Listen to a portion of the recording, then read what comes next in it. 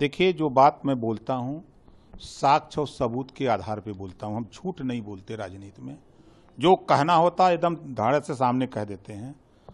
हमने एक बयान माननीय नेताजी का हमने सुना था। आ, हमारे माननीय नेताजी ने एक बयान दिया था कि मैंने मुख्यमंत्री अखिलेश जी को अपने बेटे को बनाया। और ये हमारा नहीं हुआ और अपने चाचा को मंत्री पद से हटा दिया, ये किसी का नहीं हो सकता है। ऐसा माननीय मुलायम सिंह यादव जी ने इस बात को माइक पे बोला है और मुझे तो आश्चर्य हुआ उस बयान को सुन करके कि पिताजी ने इस बात को कहा कि ये जब हमारा नहीं हुआ, अपने चाचा का नहीं हुआ तो ये देश में किसी का नहीं हो सकता है। ये बात माननीय नेताजी ने बहुत सोच समझ के कही थी कि क्योंकि उनके बयान में बहुत बड़ा दम है। उनके बयान को जब हम देखते हैं, सुनते हैं तो मुझे भी आश्चर्य होता है कि बताइए, इस तरह का जब पिताजी ने ये बात कही तो मुझे आश्चर्य लगा।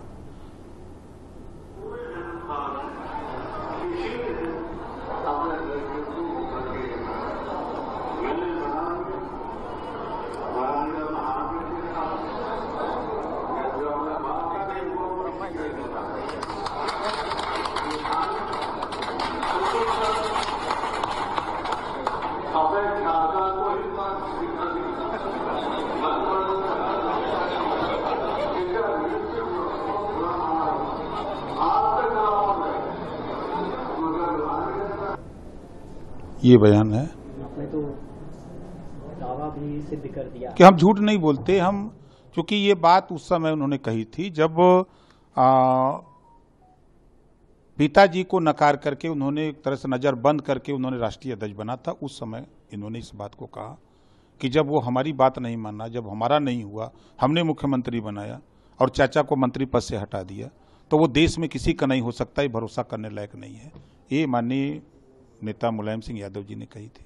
एक सवाल। जी से आप लोग की बातें क्या चुनाव आते आते तक बीजेपी में शामिल सकते? देखिए राजनीति में कब नेता कहाँ चला जाए कोई ठीक नहीं भैया।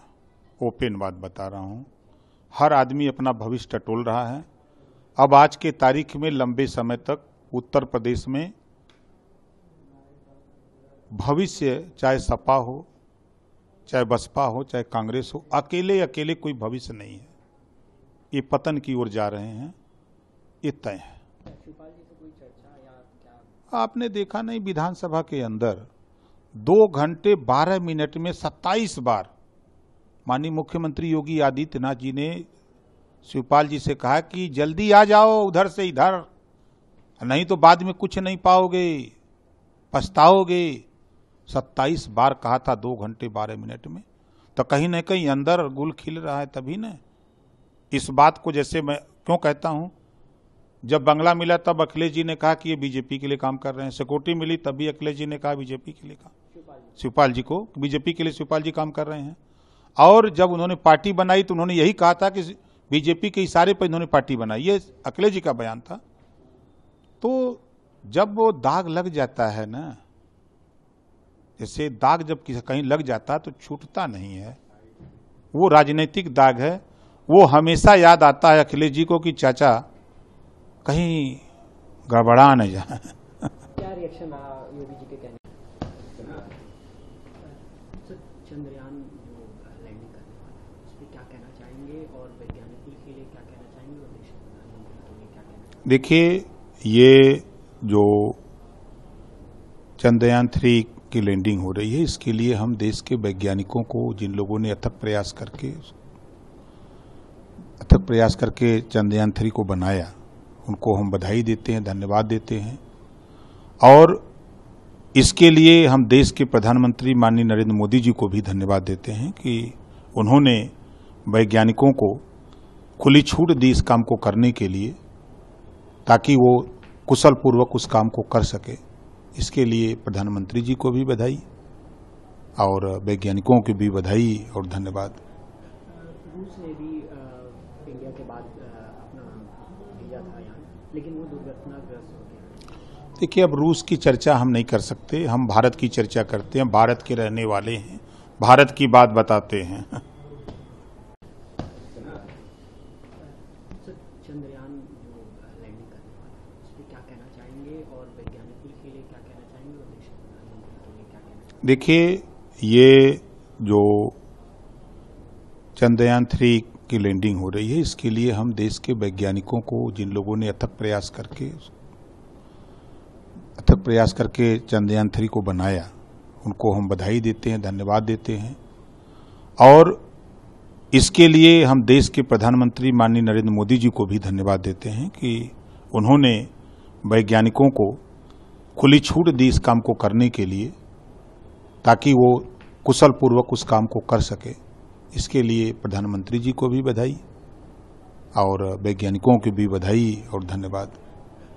रूस ने भी इंडिया के बाद अपना भेजा था यहाँ लेकिन वो दुर्घटनाग्रस्त देखिए अब रूस की चर्चा हम नहीं कर सकते। हम भारत की चर्चा करते हैं भारत के रहने वाले हैं। भारत की बात बताते हैं।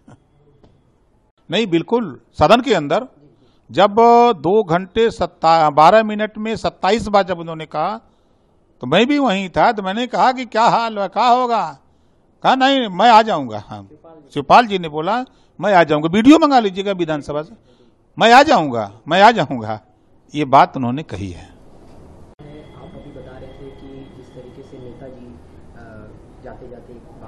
कह क्या देखिए जो बात मैं बोलता हूँ साक्ष्य और सबूत के आधार पे बोलता हूँ। हम झूठ नहीं बोलते राजनीति में। जो कहना होता है एकदम धाड़े से सामने कह देते हैं। हमने एक बयान माननीय नेताजी का हमने सुना था। आ, हमारे माननीय नेताजी ने एक बयान दिया था कि मैंने मुख्यमंत्री अखिलेश जी को अपने बेटे को बनाया। और ये हमारा नहीं हुआ, और अपने चाचा को मंत्री पद से हटा दिया, ये किसी का नहीं हो सकता है। ऐसा माननीय मुलायम सिंह यादव जी ने इस बात को माइक पे बोला है, और मुझे तो आश्चर्य हुआ उस बयान को सुन करके कि पिताजी ने इस बात को कहा कि ये जब हमारा नहीं हुआ, अपने चाचा का नहीं हुआ तो ये देश में किसी का नहीं हो सकता है। ये बात माननीय नेताजी ने बहुत सोच समझ के कही थी कि क्योंकि उनके बयान में बहुत बड़ा दम है। उनके बयान को जब हम देखते हैं, सुनते हैं तो मुझे भी आश्चर्य होता है कि बताइए, इस तरह का जब पिताजी ने ये बात कही तो मुझे आश्चर्य लगा।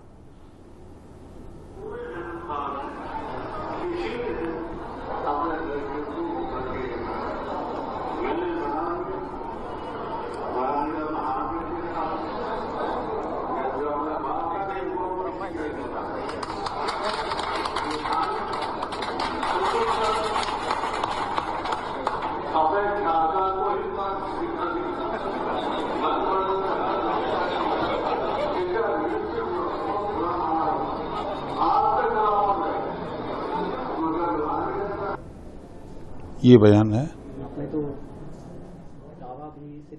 कि हम झूठ नहीं बोलते हम क्योंकि ये बात उस समय उन्होंने कही थी जब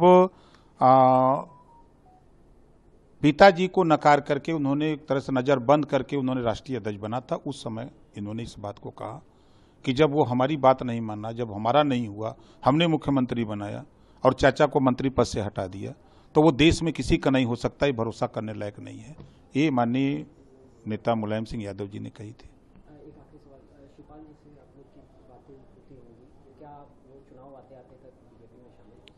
देखिए राजनीति में कब नेता कहाँ चला जाए कोई ठीक नहीं भैया।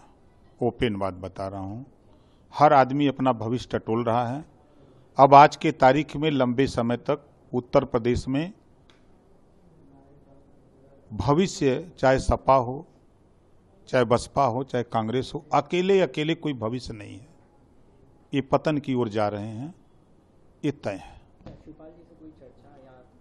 आपने देखा नहीं, विधानसभा के अंदर दो घंटे बारह मिनट में सत्ताईस बार माननीय मुख्यमंत्री योगी आदित्यनाथ जी ने शिवपाल जी से कहा कि जल्दी आ जाओ, उधर से इधर, नहीं तो बाद में कुछ नहीं पाओगे, पछताओगे। सत्ताईस बार कहा था दो घंटे बारह मिनट में। तो कहीं ना कहीं अंदर गुल खिल रहा है तभी न। इस बात को जैसे मैं क्यों कहता हूँ? जब बंगला मिला तब अखिलेश जी ने कहा कि ये बीजेपी के लिए काम कर रहे हैं। सिक्योरिटी मिली तभी अखिलेश जी ने कहा बीजेपी के लिए काम। शिवपाल जी को? बीजेपी के लिए शिवपाल जी काम कर रहे हैं। और जब उन्होंने पार्टी बनाई तो उन्होंने यही कहा था कि बीजेपी के इशारे पर इन्होंने पार्टी बनाई। ये अखिलेश जी का बयान था। तो जब वो दाग लग जाता है ना जैसे दाग जब किसी कहीं लग जाता तो छूटता नहीं है। वो राजनीतिक दाग है। वो हमेशा याद आता है अखिलेश जी को कि चाचा कहीं गड़बड़ा न जाए।